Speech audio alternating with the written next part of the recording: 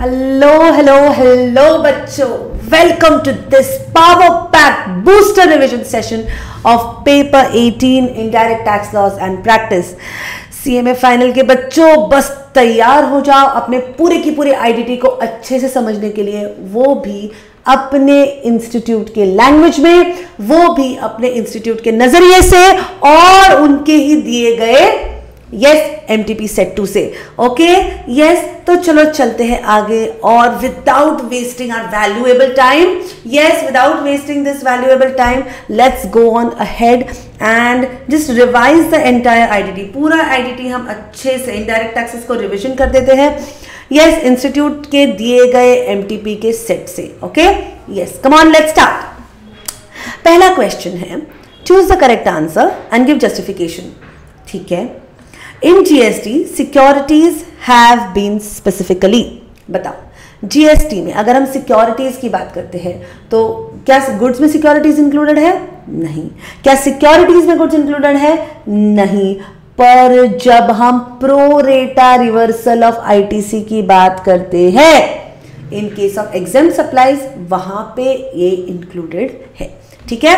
Yes so it is the right answer here would be excluded from definition of goods as well as services. Okay. A private limited company gave puja gifts to Mr. Y. Okay. Employee worth rupees 5 lakh. Its taxability will be.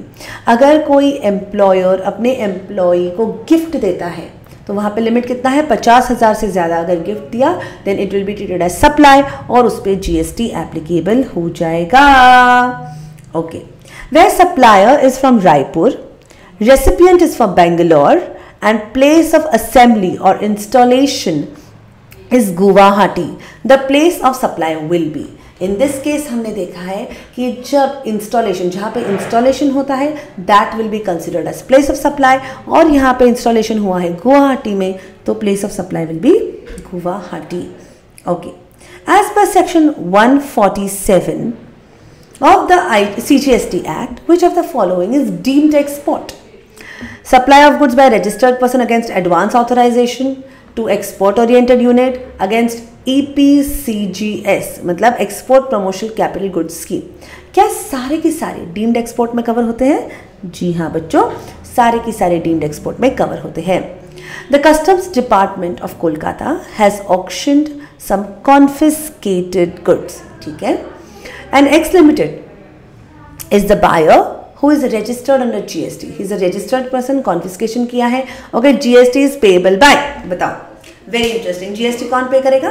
ये reverse charge mechanism में cover होने वाला situation है, इसलिए recipient will pay GST और यहाँ पे recipient कौन है? एक्स लिमिटेड ओके ना where a vehicle has been intercepted and detained for a period exceeding thirty minutes तीस मिनट से ज़्यादा अगर किसी व्हीकल को इंटरसेप्ट या डिटेन किया गया हो द सेट इंफॉर्मेशन में be uploaded in the common portal in form number कौन से फॉर्म में ये अपलोड हो जाएगा?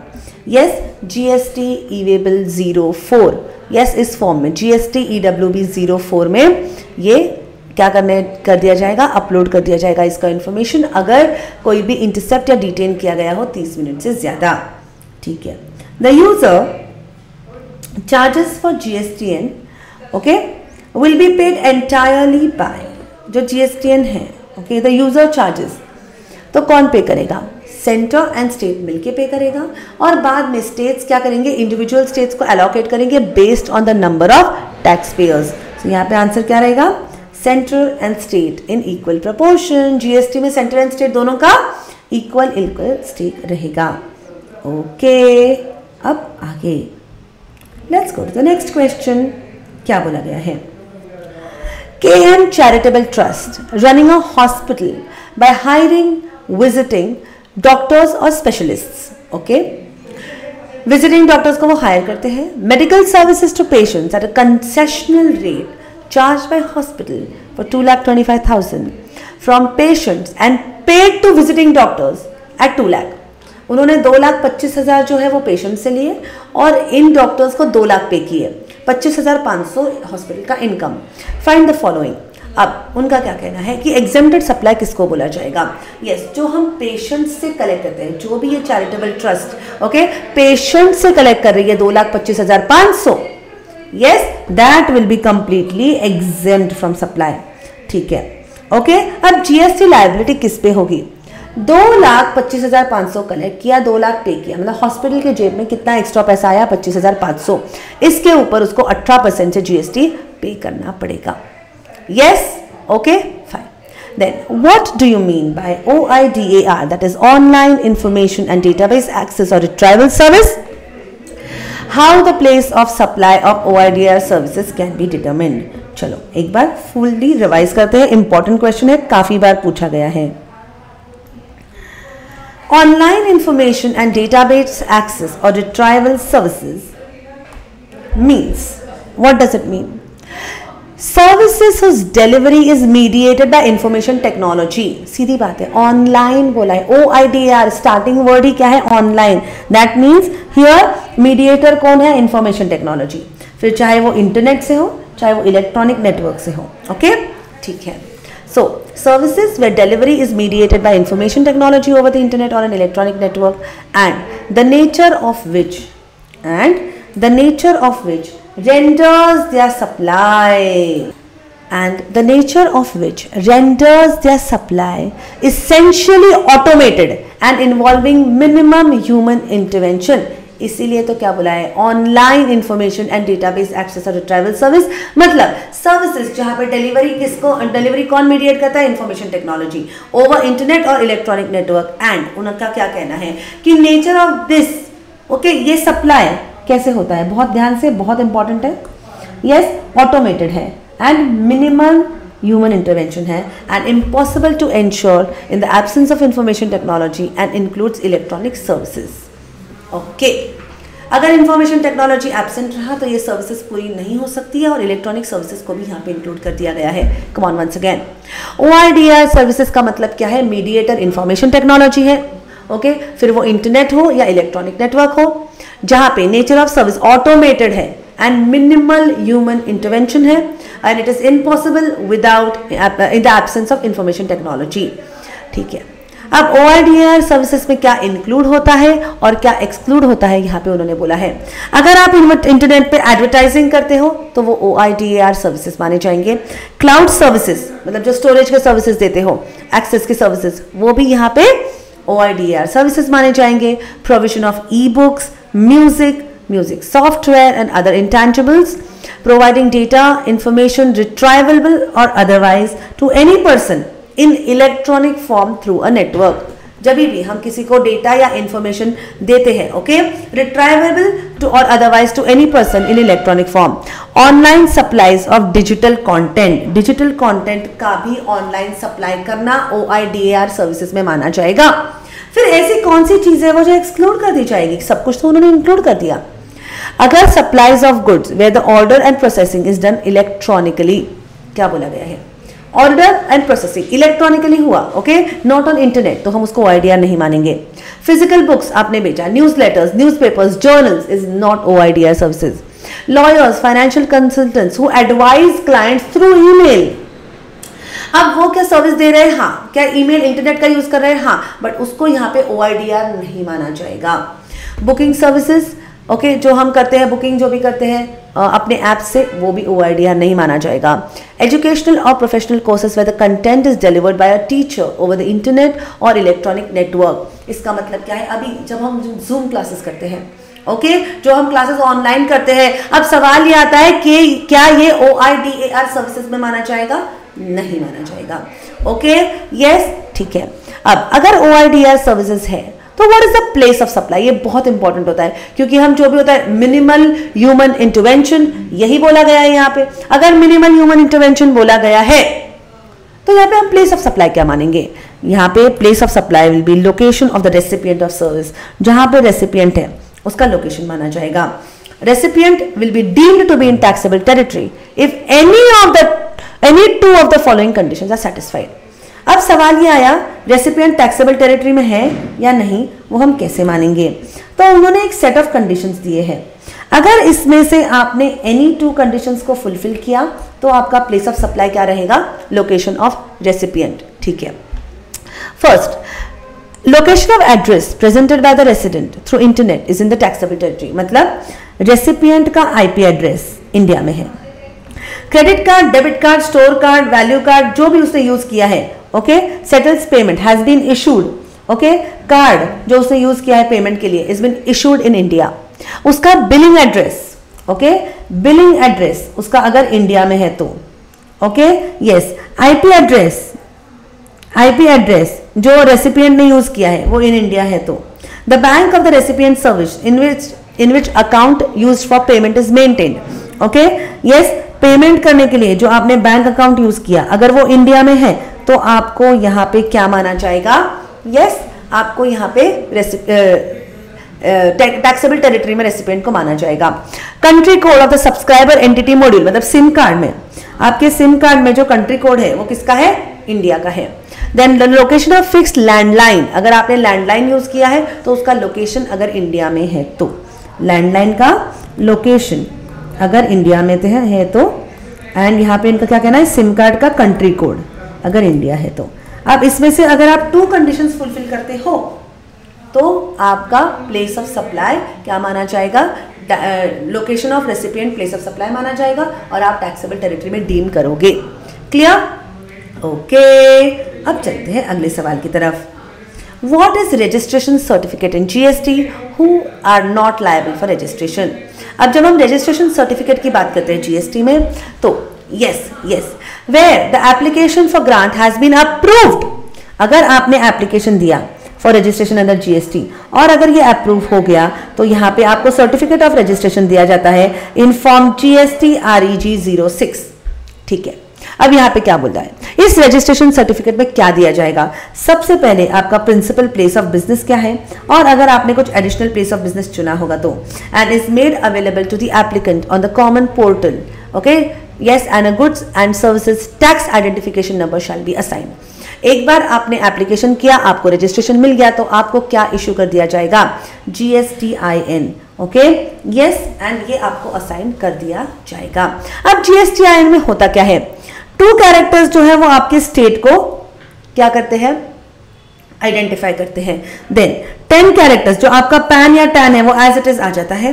Friend two characters entity code रहता है। मतलब to understand to understand the nature of the business entity and एक चेक सम कैरेक्टर रहता है। जस्ट चेक ओके अब अगला सवाल उन्होंने पूछा कि person not liable for registration कौन कौन होते हैं?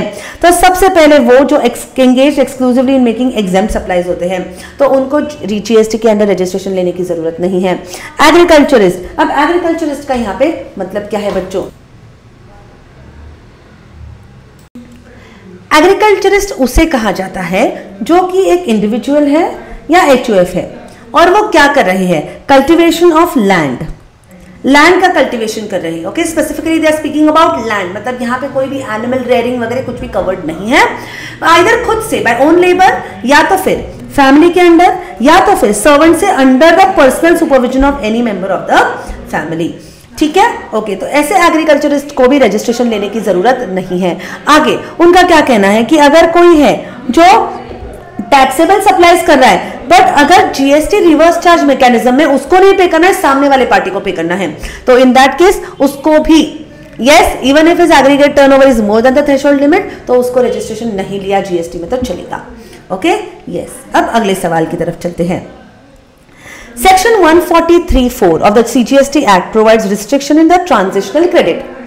It restricts transitional credit of inputs to invoices or other documents issued not earlier than 12 months immediately preceding appointed date that is 1-7-2017 जब transition करना होता है तब due to this particular condition stocks on which the assessee manufacturer had already paid tax okay जिसपे उसने already tax pay कर लिया था would be barred from availing SENVAT credit where invoice was issued on or prior to 36 2016 yes prior date okay now the assessee approached the high court challenging constitutional uh, validity as invoices they had were dated earlier than 12 months limitation period set out in prerequisite under section 143.4 discuss whether the contention of assessee is legally tenable or not उनका क्या कहना है कि आपने जो इस साल में इन्वॉइसेस इशू करे हैं okay not earlier than twelve months तो इन दैट केस अगर आपने ट्रांजेक्शन किया है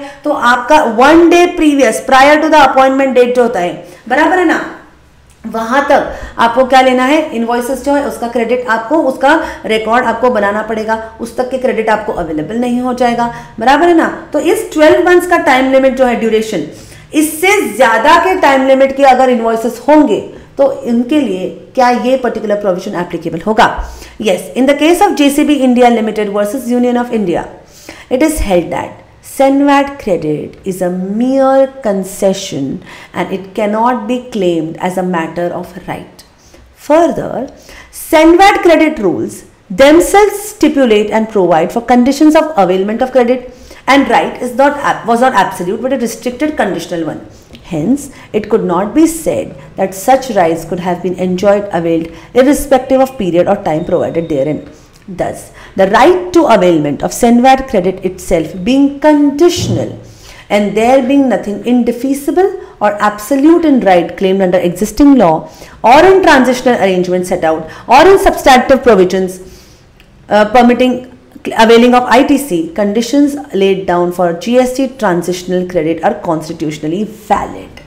अभी इनका क्या कहना है बहुत ध्यान से जो आपके सेनवेट क्रेडिट रूल्स है ये सेनवेट क्रेडिट रूल्स भी आपको कोई टाइम लिमिट स्टिपुलेट करते हैं कुछ कंडीशंस देते हैं अगर आपने इनको फुलफिल किया तो आपको क्रेडिट मिलेगा ओके okay? Yes yes. मतलब क्या ये एब्सोल्यूट है नहीं कंडीशनल है ठीक है ओके okay. अब आगे this the right to availment of CENVAT credit itself being conditional and there being nothing indefeasible और एब्सल्यूट इनका क्या कहना है? कि सेनवेट क्रेडिट रूल्स खुद ही अगर कंडीशनल है ओके okay, तो क्या आप उनको यस ओवरराइड कर सकते हो? एब्सल्यूट तरीके से इम्प्लीकेट कर सकते हो? नहीं. इन दैट केस आपके ये जो ट्रांजिशनल क्रेडिट के रूल्स है, वो कॉन्स्टिट्यूशनली वैलिड है. So the decision is in the favour of revenue समझ में आ रहा है? ओके यस ठीक है. What do you understand by authority for advance ruling ठीक है. Yes yes. अब, जब हम अथॉरिटी फॉर एडवांस रूलिंग की बात करते हैं section 96 of the C G S T act then in that case क्या बोला गया है the authority for advance ruling which is also known as A A R constituted under the provision of S G S T act और U T G S T act shall be deemed to be the in respect of that state और union territory क्या बोला गया है yes yes. क्या बोला गया है? जो एस जी एस टी और U T G S T act के अंडर जो ए ए आर आपने कॉन्स्टिट्यूट किया है, उसको ए आर माना जाएगा। The government shall appoint officers not below the rank of joint commissioner as the member of the authority for advance ruling then section hundred and seven six of the C G S T act two thousand require an appellant before appellate authority to pre deposit आपको पहले pre deposit करना पड़ता है। Yes, क्या pre-deposit करना पड़ता है?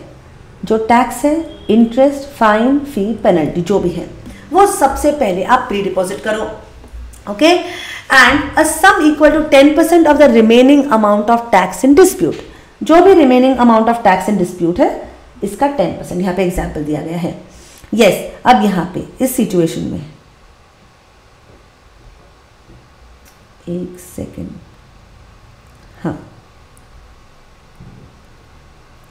Okay तो यहाँ पर फ़र्स्ट एंड सेकेंड उन्होंने लिंक में ठीक है, अब यहाँ पे क्या बोला गया है? प्री डिपॉजिट आपको लगता है, ठीक है क्वेश्चन किसके बारे में है? प्री डिपॉजिट के बारे में है। ये प्री डिपॉजिट जो है, वो आपको एडवांस रूलिंग के केस में लगता है, ठीक है, बहुत ध्यान से। अब अब अब अब इस केस में हुआ क्या? Joint commissioner has confirmed the tax demand of 42 lakhs messrs B limited has admitted rupees five lakhs ex tax liability और उन्होंने अपील फाइंड की फ़ाइल की है 37 लैक्स के अगेंस्ट ठीक है, अब इस केस में। उन्होंने कितना एडमिट किया है? पाँच लाख। तो उनको पाँच लाख डिपॉजिट करना पड़ेगा। ठीक है। ओके यस अब उन्होंने पाँच लाख को डिपॉजिट किया। ओके यस अब अब, आगे। उनको क्या करना है? जो डिस्प्यूटेड अमाउंट है, उसका ten percent thirty seven lakh disputed है तो थर्टी सेवन लाख का ten percent three lakh seventy thousand ऐसा उनको एट लाख सेवेंटी थाउज़ेंड क्या करना पड़ेगा? यस प्री डिपॉजिट करना पड़ेगा। बट यहाँ पे एक इंपॉर्टेंट चीज़ है। Sum equal to 10% of the remaining amount of tax in dispute, subject to the maximum of 25 crores मतलब ये कितना हो सकता है? ये हो सकता है मैक्सिमम 25 crores. समझ में आया? ओके ठीक है. अब सिचुएशन टू क्या बोलता है? Joint commissioner confirm the tax demand of 40 lakhs. The commissioner also imposed a penalty of 2 lakh. Mr. A intends to file an appeal with the commissioner against the said order. मतलब उसने कुछ accept किया ही नहीं है. Okay in that case उनका क्या कहना है? कि प्री डिपॉजिट करना है. अब कितना मांगा है उसने? Yes yes? हाँ. टैक्स डिमांड कितना मांगा है? चालीस लाख का। और पेनल्टी मांगी है। ठीक है। अब क्वेश्चन को, अब आप ठीक से सिचुएशन को समझने की कोशिश करो। अब क्या यहाँ पे कुछ भी एडमिट किया है क्या? मेसर्स ए लिमिटेड ने नहीं। तो पहले कैटेगरी में कोई नहीं आएगा। पहले कैटेगरी में क्या बोला गया, बताया गया है कि आपने जो भी admit tax interest fine penalty okay जो भी है, आपको करना पड़ेगा। और जो डिस्प्यूटेड टैक्स अमाउंट है, उसका ten percent maximum twenty five crores ठीक है। अब यहाँ पे सिचुएशन क्या हुई है? यस चालीस लाख ये क्या है? डिस्प्यूटेड साथ में दो लाख की पेनल्टी भी। अब सवाल ये आता है कि जो 10 परसेंट कॉम्प्यूट होंगे वो 40 लैक्स पे होंगे कि 42 लैक्स पे होंगे? यस yes, तो क्या बोला गया है? 10 percent of tax in dispute word specific is tax in dispute so 40 lakh का 10 परसेंट चार lakh maximum 25 crore will be your yes yes will be what आपको प्री डिपॉजिट करना पड़ेगा समझ में आ रहा है every one yes Interesting? Okay. The applicant company, next question. The applicant company JEL generates power from coal supply by JSL. Okay.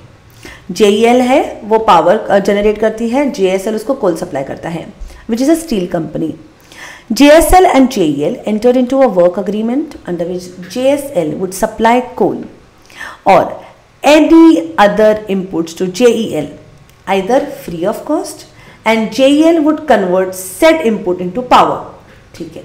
Free of cost में उसको क्या दिया जाएगा? वुड सप्लाई कोल और any other inputs on a free of cost basis और उसको फिर वो पावर में कन्वर्ट करेंगे। Now this does it amount to manufacture of electricity and क्या इस पर सप्लाई एप्लीकेबल होगा? And not a job work ठीक है। अब applicant power where applicant power company enter into a work agreement under which inputs are on free of cost basis and applicant company would convert into power activity undertaken would amount to manufacture and is a transaction of supply अब, ये चीज़ समझने की कोशिश करो। अब हुआ क्या? एक जे एस एल लिमिटेड है। ये जे एस एल लिमिटेड जो है वो J L just confirm the names JSL limited है और एक जेईएल लिमिटेड है. जेएसएल कोल इंपोर्ट्स सप्लाई करता है और ये उससे इलेक्ट्रिसिटी बनाता है. अब दिक्कत क्या हुई कि ये जो सारी चीज़ें हैं, वो इधर फ्री ऑफ़ कॉस्ट देता है या कंसेशनल रेट पे. अब मन में सवाल क्या आया? कि ये जो इलेक्ट्रिसिटी जनरेट हुई है क्या हम इसको मैन्युफैक्चर मानेंगे या क्या हम इसको जॉब वर्क मानेंगे तो यहाँ पे क्या बोला गया है कि in case of JSW energy limited it was held that the activity undertaken by amounts to manufacture of electricity as coal um, from coal as supplied by JSL and is separately covered in the definition of manufacture. हमने manufacture का definition देखा manufacture के definition में separately इसीलिए उन्होंने cover किया है कि अगर कोल से आप इलेक्ट्रिसिटी बनाते हो तो हम उसको मैन्युफैक्चर मानेंगे। क्या वो जॉब वर्क के डेफिनेशन में कवर्ड है? नहीं। ठीक है। So transaction will be treated as this transaction will be treated as supply of goods and not a job work clear okay ठीक है। यस अब। State the procedures to be followed to scrutiny a return under GST. GST में scrutiny of return है तो उसके procedures क्या क्या है? यस yes, सबसे पहला। If the return furnished is selected for scrutiny proper officer may scrutinize the same return and related particulars furnished by the registered person to verify the correctness of return तो क्या बोला गया है? जो PO है वो स्क्रूटिनाइज करेगा।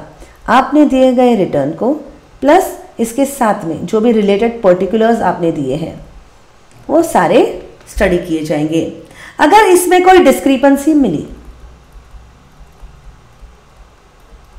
तो आपको नोटिस दी जाएगी। ये नोटिस कौन से फॉर्म में दी जाएगी?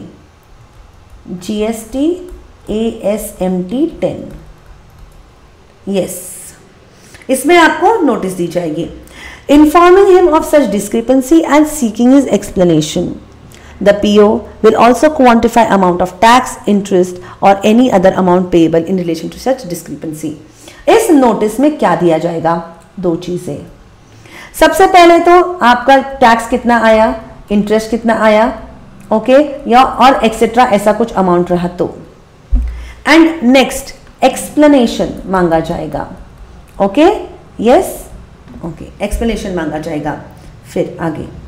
The registered person is required to submit his explanation explanation आपको कितने दिनों में देना है? रजिस्टर्ड पर्सन को तीस दिनों में देना है। कौन से तीस दिनों में? From the date of service of notice ठीक है? यस yes, ये थर्टी डेज़ का पीरियड एक्सटेंड भी हो सकता है। ठीक है? तो यहाँ पे ये जो एक्सप्लेनेशन देना है वो एक्सप्लेनेशन कितने दिनों में देना है? Within thirty days okay of serving of notice yes plus extension if any ठीक है। देन देन गाइस क्या बोला गया है? The registered person may accept the discrepancy mention and pay the tax from such discrepancy and inform the same alternatively okay मतलब यहाँ पे क्या बोला गया है कि अगर आपका ओके okay, इस एक्सप्लेनेशन में इधर आप आपका जुर्म कबूल करो या फिर आप जुर्म मत कबूल करो। अगर आपने जुर्म कबूल किया तो यहाँ पे आपको पे करना पड़ेगा। जो भी टैक्स है इंटरेस्ट है या जो भी ड्यूज आए हैं वो एंड प्लस इन्फॉर्म करना पड़ेगा कि भाई हमने मंजूर कर लिया है और हमने पे कर दिया है। बट अगर आपको मंजूर नहीं है then the registered person may furnish an explanation for the discrepancy in GST ASMT eleven to the PO वो एक्सप्लेनेशन का जवाब दिया जाएगा। Then if the explanation submitted is found acceptable the PO shall inform him in GST ASMT twelve and no further action shall be taken ठीक है, फिर यहाँ पे क्या बोला गया है? कि अगर मंजूर नहीं है तो आप एक्सप्लेनेशन दो। आपका एक्सप्लेनेशन होगा कौन से फॉर्म में? Form GST A S M T eleven ठीक है? इसमें अगर आपका एक्सप्लेनेशन एक्सेप्टेबल है तो form GST A S M T twelve में पीओ क्या करेगा? PO yes PO will uh, declare and no further action will be taken. But अगर एक्सेप्टेबल नहीं है अगर आपका एक्सप्लेनेशन एक्सेप्टेबल नहीं है in that case within a period of 30 days और extended period or where the registered person after accepting the discrepancy fails to take corrective actions in his return for the month in which the discrepancy is accepted PO may initiate appropriate action including under section 65, 66, 67 or determine the tax and other dues under section 73 or 74. उनका यहाँ पे क्या कहना है अगर आपका explanation acceptable नहीं है या तो फिर आपने करेक्टिव एक्शन जो आपको रिटर्न में लेना था वो आपने नहीं ली है इन दैट केस आप क्या क्या हो जाएगा section 63, 64 wait wait wait wait wait I made a mistake हाँ राइट 65 यस यस 65, 66, 67 में या तो फिर आपका सेक्शन 74 या 75 में उनका क्या कहना है? हम आपका टैक्स कॉम्प्यूट करेंगे। यस yes, ऐसा क्यों बाबा? ऐसा क्यों? क्यों आज गाड़ी आगे दौड़ रही है? 73 एंड 74 में। समझ में आ रहा है? Yes very very very simple okay ठीक है, फिर yes let's go to the next question okay M limited is a Mumbai based registered supplier okay fine ठीक है. अब हुआ क्या? इट मैन्युफैक्चर्स चॉकलेट्स ओके ठीक है and biscuits it provides following information of taxable interstate supply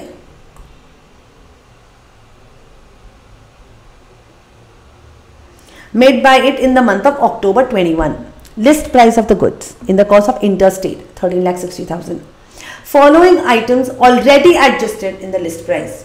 कौन से subsidy subsidy from trade association 45,000 adjusted है subsidy from central government for supply of biscuits to government school one lakh sixty five thousand one lakh sixty four thousand ये adjusted है अब not adjusted वाले कौन से हैं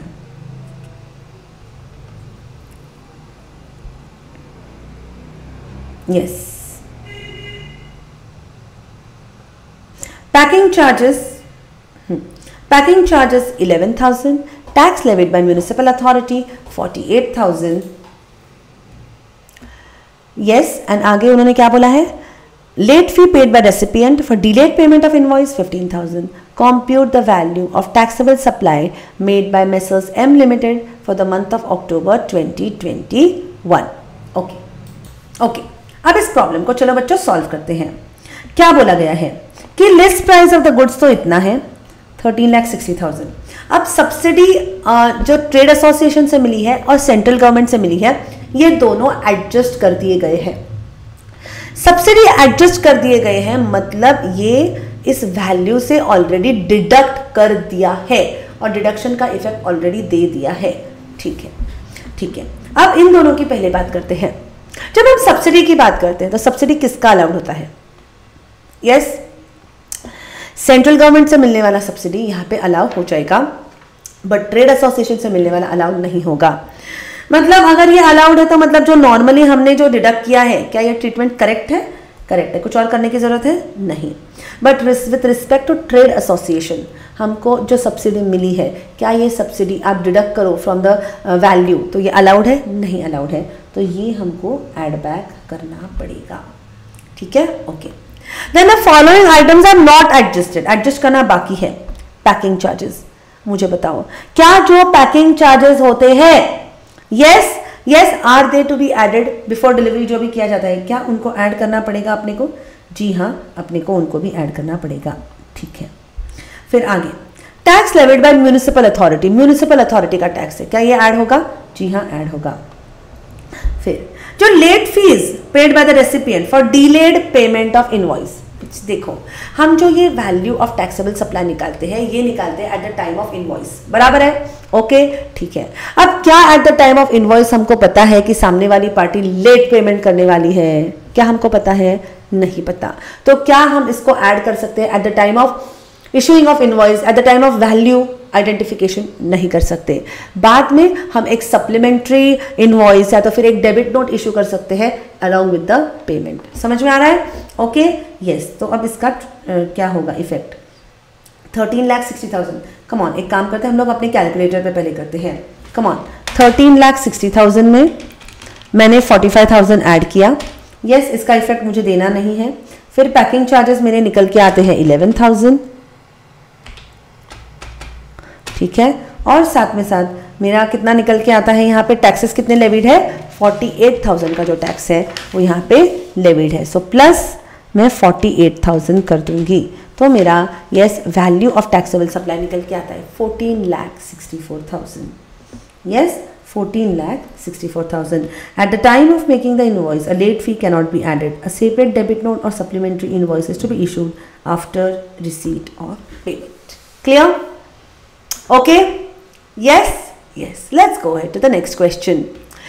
Describe in details the consequences of transportation of goods without issue of invoice. Issue invoice issue किए बिना अगर आपने yes invoice wait हाँ ट्रांसपोर्ट किए गुड्स विदाउट इनवॉइस इनवॉइस को इशू किए बिना तो उसका इफ़ेक्ट क्या होगा transportation of goods without issue of invoice. Okay. Yes, अब the consigner may issue delivery challan serially numbered not exceeding 16 characters in one or multiple series in lieu of invoice. अगर आप invoice नहीं issue करते तो आपको delivery challan तो issue करना चाहिए जो नॉट एक्सीडिंग मैक्सिमम 16 कैरेक्टर्स हो सकते हैं इन वन और मल्टीपल सीरीज़ ठीक है at the time of removal of goods for transportation ठीक है अब इसमें क्या क्या पर्टिकुलर्स होना चाहिए yes, supply of liquid gas where the quantity at the time of removal. Okay? Yes. From the place of business of supply is not known. अगर आपको पता नहीं है कि लिक्विड गैस की क्वांटिटी कितनी है transportation of goods for job work transportation of goods for reason other than by way of supply and such other supplies okay मतलब अगर आपको बिना इनवॉइस इशू किए गुड्स को निकालना है तो आपने ये गुड्स कब निकाल सकते हो? ओके इन पर्पजेस के लिए निकाल सकते हो। यस yes, अगर आपको पता नहीं है कि लिक्विड गैस की क्वांटिटी कितनी है तो आप डिलीवरी चलानी शुरू कर दो। जॉब वर्क के लिए जा रहा है ओके अदर देन सप्लाई के लिए जा रहा है और such supply as notified by the board तो इनके केस में क्या आप इन्वॉइस इशू कर सकते हो? नहीं। तो उसके जगह में बिना कोई डॉक्यूमेंट आप रिमूवल कर सकते हो गुड्स नहीं। तो आपको कौन सा डॉक्यूमेंट जनरेट करना पड़ेगा? डिलीवरी चलान। उसका भी कैरेक्टर्स कितना हो सकता है? मैक्सिमम सिक्सटीन कैरेक्टर्स हो सकते हैं इन वन और multiple series okay the delivery challan कितने कॉपीज में बनाए जाएँगे? ट्रिप्लीकेट ओके ओरिजिनल कॉपी जो होगा वो कौन रखेगा? कंसाइनी रखेगा. बराबर है कि नहीं? Okay okay? यस yes, फिर डुप्लीकेट कॉपी जो रहेगी वो ट्रांसपोर्टर को दी जाएगी एज अ प्रूफ कि उसको हमने गुड्स दे दिया. Right and triplicate copy okay yes किसके लिए दी जाएगी? कंसाइनर के लिए दी जाएगी. Okay okay? यस yes, तो जिसके पास ओरिजिनल डॉक्यूमेंट है ओके okay? वो कंसाइन ही रहेगा where goods are being transported on a delivery challan the same shall be declared as specified in rule 138 okay where the goods being transported are for the purpose of supply to the recipient but the tax in could not be issued at the time of removal the supplier shall issue a tax in after delivery of goods इनका क्या कहना है? कि आपने supply के लिए ही goods निकाले हैं। बट तब ये आपको जो है इनवॉइस इशू करना पॉसिबल नहीं था, इसलिए आपने डिलीवरी चलान इश्यू किया। हाँ तो आपको यहाँ पे टैक्स इनवॉइस देना पड़ेगा after delivery of goods okay way the goods are been transported in a semi knocked down और completely knocked down condition supplier shall issue complete invoice before dispatch of the first consignment first consignment के dispatch के पहले आप invoice issue कर सकते हो, complete invoice. Shall issue delivery challan for each of the subsequent assignments उसके बाद जो कंसाइनमेंट है, उसके लिए सब्सिक्वेंटली आप डिलीवरी चलान इशू कर सकते हो giving reference to the invoice each consignment shall be accompanied with the corresponding copies of delivery challan and invoice the original copy of the invoice shall be sent along with the last consignment क्या बोला गया है? आपको invoice issue कब करना है?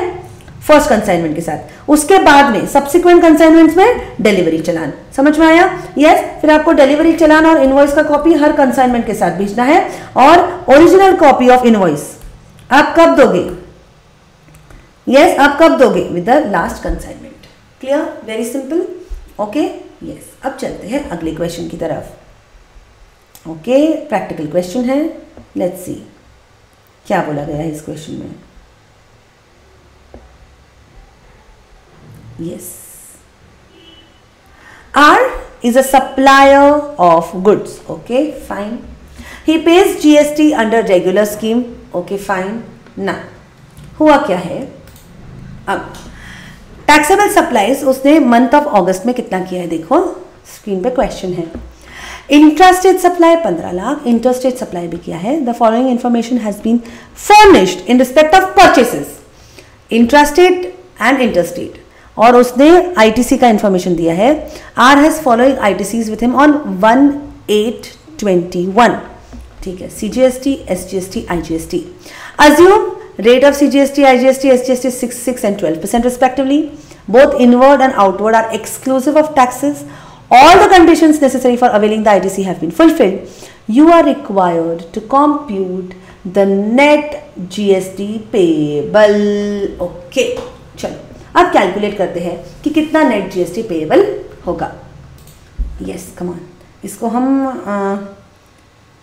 Yes yes, इसको एक बार डिस्कस कर लेते हैं फिर हम इसको सॉल्व करेंगे। अब इस प्रॉब्लम में क्या पूछा गया है? नेट जीएसटी पेएबल पूछा गया है। मतलब आउटपुट सप्लाई पे आउटवर्ड सप्लाई पे जो जीएसटी आएगा वो देखना पड़ेगा फिर इनवर्ड पे कितना आईटीसी है वो देखना पड़ेगा अपने पास कितना बैलेंस है देखना पड़ेगा। ओके यस तो इंट्रास्टेट सप्लाई है इस पर तो CGST G S T S G S T आएगा। सिक्स परसेंट से सिक्स परसेंट से। इंटरस्टेट सप्लाई पे आईजीएसटी आएगा ट्वेल्व परसेंट से। अब जो ये परचेसेस है, इस पर अपने को C G S T S G मिल जाएगा सिक्स परसेंट सिक्स परसेंट। और जो इंटरस्टेट है, इस पर आई जी एस टी का इनपुट मिल जाएगा ट्वेल्व परसेंट से। ओके और ये अपने बैलेंसेस ऑलरेडी अवेलेबल है। तो चलो। यस कितना सप्लाई है देख लो इंट्रा पंद्रह लाख इंटर बारह lakh. Okay so intra state supply जो पंद्रह लाख है, उस पर six percent C G S T six percent S G S T और 12 लाख का जो इंटर है, उस पर बारह परसेंट का आईजीएसटी इतना अपना टोटल जीएसटी पेएबल आ गया बिकॉज़ ये आउटपुट सप्लाई आउटवर्ड सप्लाई है। अब आईटीसी आईटीसी में उन्होंने क्या बोला है कि अपने पास ओपनिंग बैलेंस कितना है? सत्तर, साठ, चालीस। So C G S T S G S T I G S T okay opening balance सत्तर हज़ार, साठ हज़ार, चालीस हज़ार। ठीक है। अब हम यहाँ इस पे, इस साल के जो परचेसेस है, उस पे इनपुट सप्लाई पे हमको आईटीसी मिलेगा। अब परचेसेस कितने के हैं, वो देखते हैं। परचेसेस उन्होंने बोला है आठ lakh intra state so C G S T six percent S G S T six percent of eight lakh that is forty eight thousand forty eight thousand फिर फिर उन्होंने आगे क्या बोला है? इंटरस्टेट सप्लाई आपने कितने इंटरस्टेट परचेज सॉरी कितने का किया? दो लाख का। तो इस पर आई आ जाएगा बारह टक्के से सो ट्वेंटी फोर थाउज़ेंड ठीक है। तो ये रहा आपका टोटल आईटीसी का बैलेंस ठीक है। सो जीएसटी पेएबल कितना था? अब टोटल आईटीसी अवेलेबल कितना है अपने को? एक लाख अठारह, एक लाख आठ हज़ार सिक्सटी फोर थाउज़ेंड अब जीएसटी पेएबल आपका कितना है? ठीक है। अब अगर हम टोटल जीएसटी पेएबल देखते हैं तो यहाँ पे बताया गया है। कमॉन गाइज़ फोकस तो सीजीएसटी आपका पेएबल है नब्बे हज़ार, वो यहाँ पे आ गया। एसजीएसटी आपका पेएबल है नब्बे हज़ार, वो यहाँ पे आ गया। आईजीएसटी आपका पेएबल है one lakh forty four thousand वो यहाँ पे आ गया। ठीक है। तो ये बैलेंस आ गया। अब अब ये बैलेंस आ गया। अब अपने को यस इंटरनली इसको एडजस्ट करना है। क्या बोला गया है? यस yes, क्या बोला गया है यहाँ पे? अब अगर आप देखते हो तो आईजीएसटी फिर भी 80,000 निगेटिव बैलेंस आया है। यस yes, मतलब आईजीएसटी यहाँ पे पेएबल आया है। और अपने पास सीजीएसटी और एसजीएसटी का बैलेंस अवेलेबल है। अब अगर अपने पास सीजीएसटी और एसजीएसटी का बैलेंस अवेलेबल है बच्चों तो अब सवाल ये आता है कि क्या हम इसको यूटिलाइज कर सकते हैं? जी हाँ हम इसको यूटिलाइज कर सकते हैं। कैसे और किस प्रकार से? अब, अगर हम देखते हैं तो अपने पास सीजीएसटी का अट्ठाईस हज़ार बचा है और एसजीएसटी का अठारह हज़ार। अब सवाल ये आया है, क्या हम ये जो क्रेडिट आईटीसी अवेलेबल है सीजीएसटी और एसजीएसटी का, क्या ये हम आईजीएसटी पे करने के लिए यूज़ कर सकते हैं? कर सकते हैं।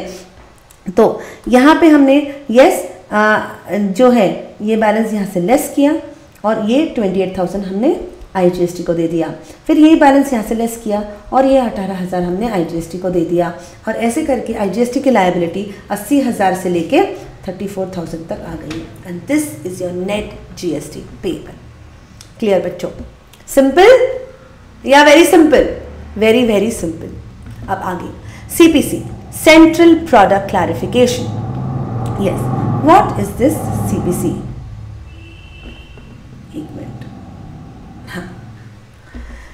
In the preface to the document issued by Department of Economic and Social Affairs of UN 2015 titled Central Product Classification version 2.1 it has been stated that ठीक है ये मेंशन नहीं भी किया तो चलेगा जो इंपॉर्टेंट है वो ये है The CPC constitutes a complete product classification. नाम में ही है product classification. Okay, complete. Yes, constitutes a complete product classification covering all goods and services. It serves as an international standard for assembling and tabulating all kinds of data requiring product detail including statistics on industrial production, domestic and foreign commodity trade, international trade and services, balance of payments, consumption, price statistics and other data. अब मुझे एक बात बताओ बच्चों एक मुझे simple सी बात बताओ कि अगर ये किसने दिया है यूएन यस yes, किसने दिया है यूएन यूएन ने इशू किया है। मतलब क्या ये रिलेटेड रहेगा फॉरेन ट्रेड से? हाँ। तो उनका क्या कहना है कि अगर सी अगर इंटरनेशनल यस इंटरनेशनल स्टैंडर्ड है, किसके लिए स्टैंडर्ड है?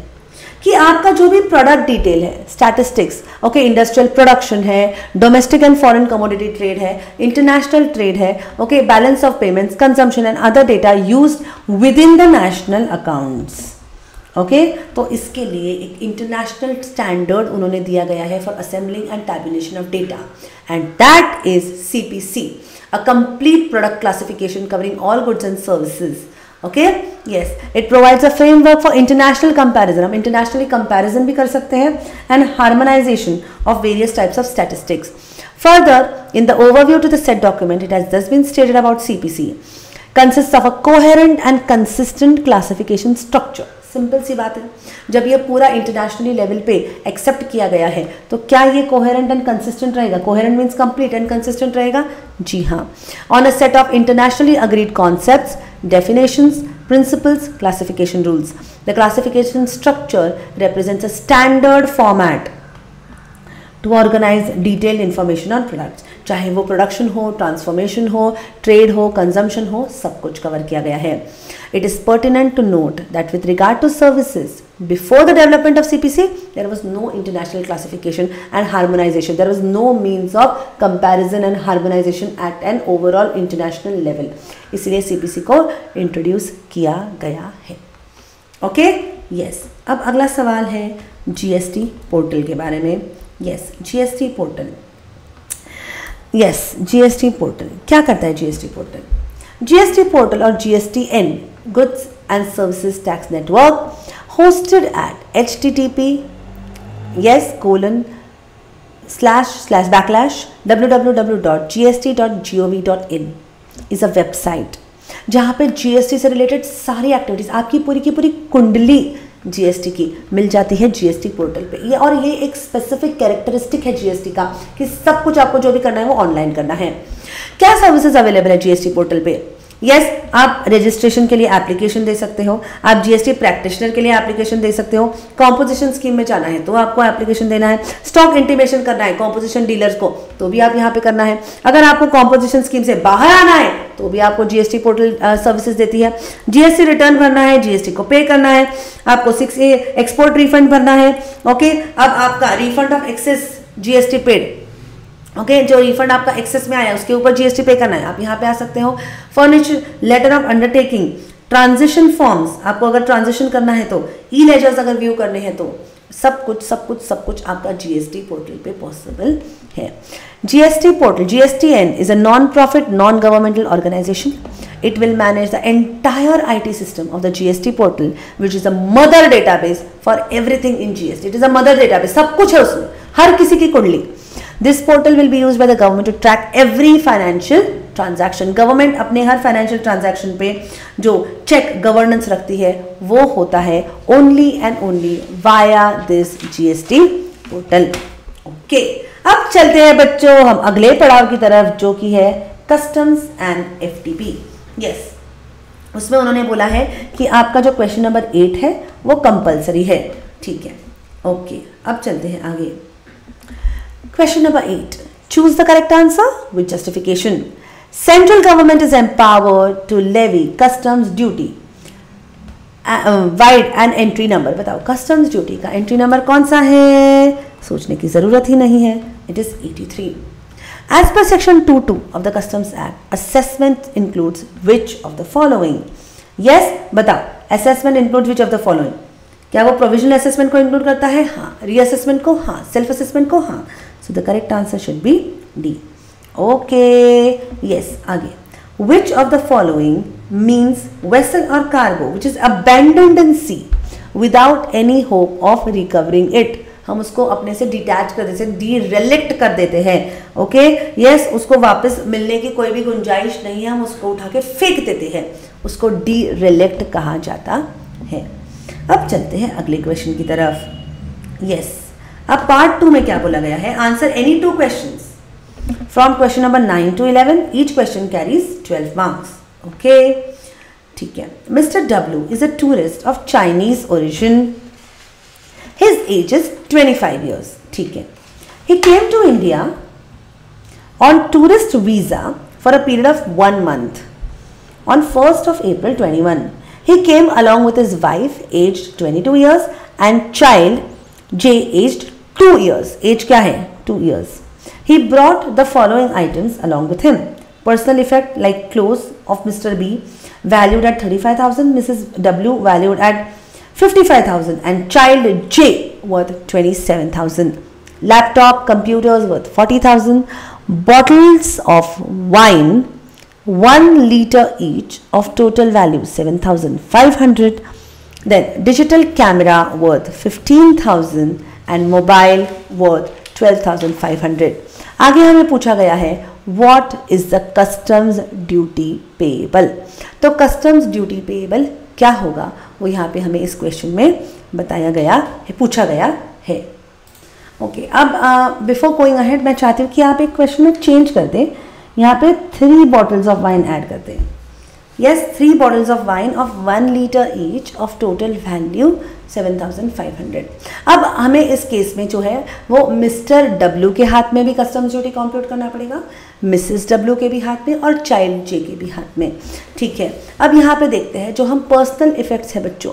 पर्सनल इफेक्ट्स मुझे बताओ, क्या ये एग्जाम्ट है फ्रॉम कस्टम्स ड्यूटी जी हाँ। ये कम्प्लीटली एग्जाम्ट है फ्रॉम कस्टम्स ड्यूटी अगर हम लैपटॉप कंप्यूटर्स की बात करते हैं बच्चों अगर हम laptop computers worth forty thousand each की अगर हम बात करते हैं तो ये लैपटॉप कंप्यूटर्स भी यस yes, अगर आपका 18 इयर्स ऑफ़ एज से ज़्यादा होगा तो क्या ये एग्जाम्ट है?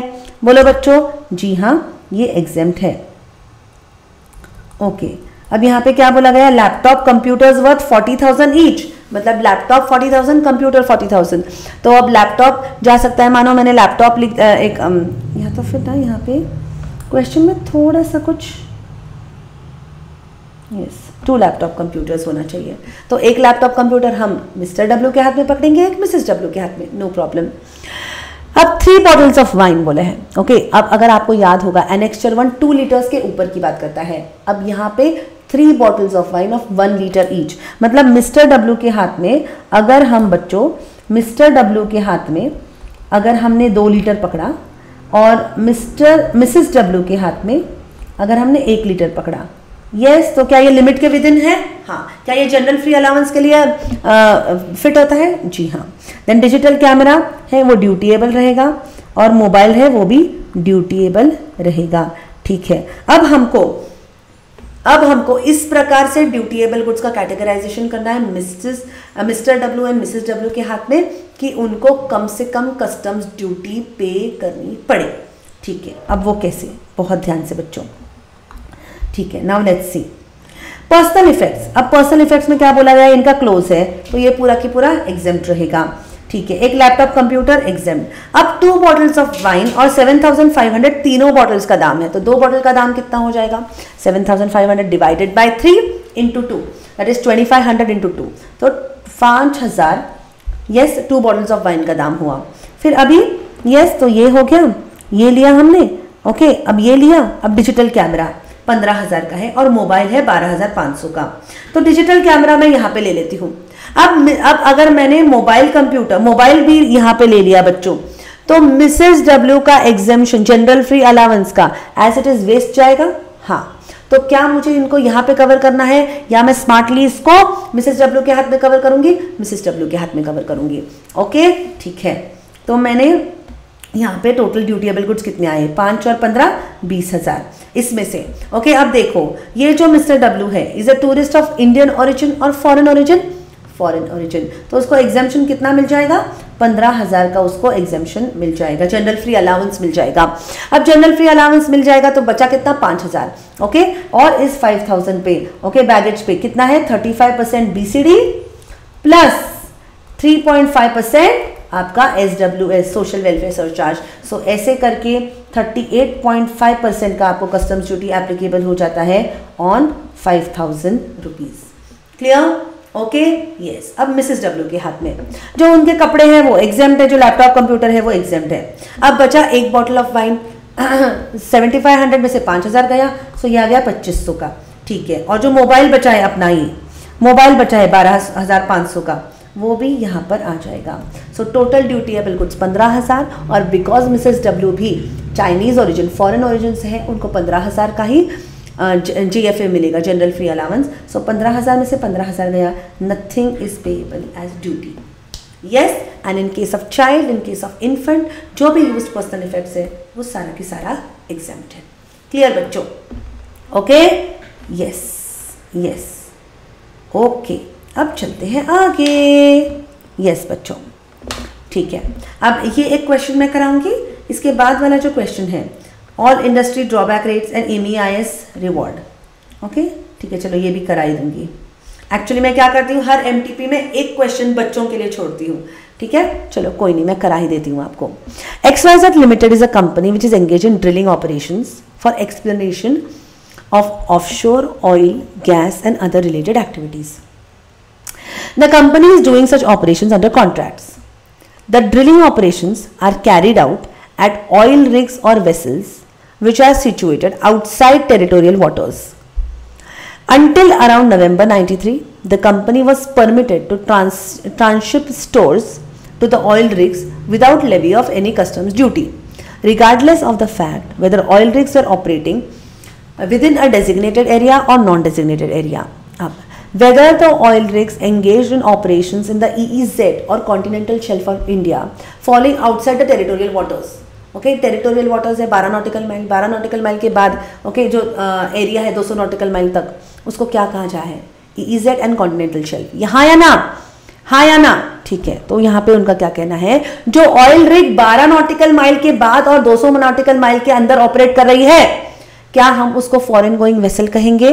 ओके एंड जो उनको स्टोर्स दिए जाएँगे क्या उस पर उनको कस्टम्स ड्यूटी एप्लीकेबल होगा? तो वेरी इंपॉर्टेंट केस क्या बोला गया है? The apex court, namely the Supreme Court in case of Aben Lloyd Chiles Offshore Limited, has held that. ध्यान से goods imported by the SSC for consumption on board on oil rigs were stores सीधी बात है अब ये oil rig है मानो ये एक ऑयल रिग है ओके नो प्रॉब्लम अब ये जो ऑयल रिग है बच्चों इस पे कुछ सामान लगेगा उनको यस ठीक है। इस सामान को उन्होंने क्या किस कैटेगरी में डाला गया है? स्टोर्स के कैटेगरी में, ठीक है। ओके यस बट अब उनका क्या कहना है कि ये जो ऑयल रिग है, इसको भी हम वेसल ही मानेंगे, ठीक है।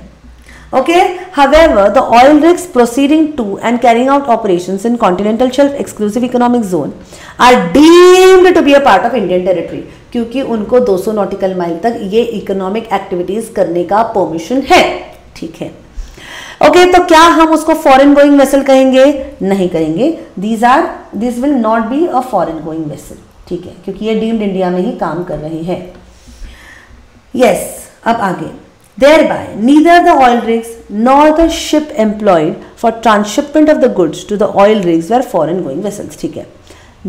Therefore the store transshipped to the oil rigs and consumed thereon were not entitled to exemption under section 87. अब सेक्शन 87 का जो एग्जेम्पन है बच्चों, इस स्टोर्स के related okay it is applicable only to foreign going vessel but क्या ये foreign going vessel है? नहीं तो क्या इसको एग्जामेशन मिलेगा? नहीं तो क्या इस स्टोर्स पे इनको ड्यूटी पे करना पड़ेगा? जी हाँ उनको ड्यूटी पे करना पड़ेगा। Clear okay clear clear clear everyone yes okay अब अगला सवाल. Which are the eligible and in eligible capital goods for import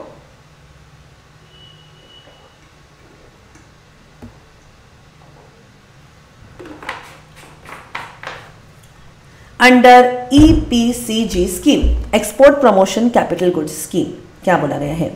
eligible capital goods कौन से हैं? सबसे पहला capital goods in yes CKD SKD condition okay yes अब ये सीकेडी एसकेडी कंडीशन क्या है? कंप्लीटली नॉकडाउन या semi knockdown condition computer software spares moulds dies jigs fixtures tools refractories for initial lining and spare refactories and capital goods for project imports notified by CBIC और in eligible में कौन सा आता है? Second hand capital goods and power generator sets are in eligible capital goods under EPCG scheme ठीक है। अब जो ऑल इंडस्ट्री ड्रॉबैक रेट्स के बारे में उन्होंने पूछा गया है तो ये कौन फिक्स करता है? Yes directorate drawback directorate fix करता है on first of June okay अब किन चीज़ों को कंसिडर मद्देनजर रखते हुए ये all industry drawback rate fix किया जाता है? आपका जो क्वांटिटी क्वालिटी ओके जो मटेरियल आप यूज़ कर रहे हो okay yes of the materials from which a particular class of goods is ordinarily produced okay जो आप इंडिया से इनपुट्स ले रहे हो उनकी क्वांटिटी उनकी वैल्यू आप जो क्वांटिटी और वैल्यू इंपोर्टेड मटेरियल्स का यूज़ कर रहे हो ओके फॉर द मैन्युफैक्चर फिर ओके okay, आपने इन पे आपने इन पे कितना ड्यूटी पे किया? इनके सेमीज पे कंपोनेंट्स पे इंटरमीडिएट प्रोडक्ट्स पे. कितना ड्यूटी आपने पे किया है? इसके वेस्टेज पे आपने कितना ड्यूटी पे किया है? Okay however if any such waste और catalytic agent is reused in any process और सोल्ड तो उतना ड्यूटी यहाँ पे लेस हो जाएगा। फिर, आपने कितना ड्यूटी पैकिंग मटेरियल पे पे किया है? Okay and any other information इस सारे इंफॉर्मेशन को मद्देनजर रखते हुए और duty drawback all industry drawback rates are decided by drawback directorate now reduced drawback to be allowed in certain cases certain cases में आपको रिड्यूस्ड ड्रॉबैक भी अलाउ होता है। कौन से केस में in case where any goods are produced और manufactured from imported materials तो उनका क्या कहना है कि आपने the duty chargeable on which has been paid on such materials and not on the rest और the duty chargeable on which has been paid in part और the duty has been rebated refunded and the rules made thereunder the drawback admissible on the set goods shall be reduced taking into account the lesser duty paid or rebate, refund or credit obtained. Simple सी बात है। उनका क्या कहना है? अगर आप कोई credit लेते हो अगर आप कोई रिबेट लेते हो अगर आप कोई रिफंड लेते हो तो आपको इसका ड्रॉबैक फिर से नहीं मिलेगा। ये आपके ड्यूटी पेड में से अमाउंट में से लेस हो जाएगा और बैलेंस पे आपको ड्रॉबैक मिलेगा। Simple and sweet okay yes and now let's go head to the last question of M E I S reward और ड्यूटी क्रेडिट स्क्रिप्ट क्या बोला गया है उसके बारे में? Yes reward rates are prescribe under appendix 3b MEIS schedule table 2 ITC code that is HS code list, code wise list of products with reward rates are incorporated appendix 3b कहाँ पे दिया गया है? अपेंडिक्स 3b में दिया गया है। कितने प्रकार के रेट्स है? Reward rates 2 percent three percent and five percent अब एप्लीकेबिलिटी किस पे डिपेंड करती है? कंट्री ग्रुप पे और डिस्क्रिप्शन पे डिपेंड करता है कि आपको कितना रेट कौन सा रेट एप्लीकेबल हो जाएगा। अब on request split certificates of duty credit script subject to a minimum of five lakh each and multiple thereof में ऑल्सो भी issued at the time of application अगर आपने तो अप्लाई किया तो आपको स्प्लिट सर्टिफिकेट्स इशू हो जाते हैं of a minimum of five lakh each and multiples once duty credit script has been issued एक बार अगर वो इशू हो जाए request for splits can be permitted with same port of registration अगर एक बार आपने ड्यूटी क्रेडिट स्क्रिप्ट इशू कर दी तो क्या आप इसका रिक्वेस्ट फॉर स्प्लिट्स कर सकते हो यस yes. तो रिक्वेस्ट क्या आप उसके जो स्प्लिट्स है, आपको जो स्प्लिट करना है तो आप किसके पास कर सकते हो? Same port of registration as appearing in the original script the above procedure shall be applicable only in respect of EDI enabled ports in case of export through non EDI ports the facility of split shall not be allowed after issue of script S W S cannot be paid by utilising M E I S और S C I S script ठीक है. ना what is the basis of calculation of reward क्या बोला गया है? Duty credit script आपका FOB value of exports realise in free foreign exchange और FOB value of exports given in the shipping bills in free foreign exchange whichever is less in reward rate okay अब ये जो है ना duty script are not allowed in these following cases clear okay yes so with this our booster revision जहाँ पे हमने पूरा की पूरा एमटीपी क्लियर किया है, जहाँ पे हमने पूरा की पूरा इंस्टीट्यूट का दिया हुआ जो भी जो इंस्टीट्यूट कुछ भी प्रोवाइड करते हैं ना तो वो अपने लिए बाइबल जैसा है। It's it's it's very important okay तो मैंने सोचा कि क्यों ना हम पूरा की पूरा एमटीपी ही कवर कर ले बच्चों ओके यस सो हमने बड़ी ही खूबसूरती से, आसानी से, मैंने हर चीज़ को आपको शॉर्ट समरी में एक्सप्लेन कराने की कोशिश करी है, ताकि आपको ये चीज़ें फिर से रिकॉल हो। Okay? Yes, these questions stand very important, my dear students. Okay? Yes, all the very best. पूरा होशो हवास में आपका पेपर लिख के आना और बहुत ही अच्छे मार्क्स स्कोर करना। यस यस यस और ऐसे ही आपको हर सब्जेक्ट का बूस्टर रिवीजन अगर चाहिए तो सब्सक्राइब करो बच्चों। सब्सक्राइब करना भूलना मत। हमारा channel M E P L C M A final exclusive okay बिल्कुल बिल्कुल बिल्कुल सब्सक्राइब कर लीजिए, जहाँ पे आपके सारे प्रॉब्लम्स का सोल्यूशन आपको यहाँ पे मिल जाएगा। Okay yes thank you my dear students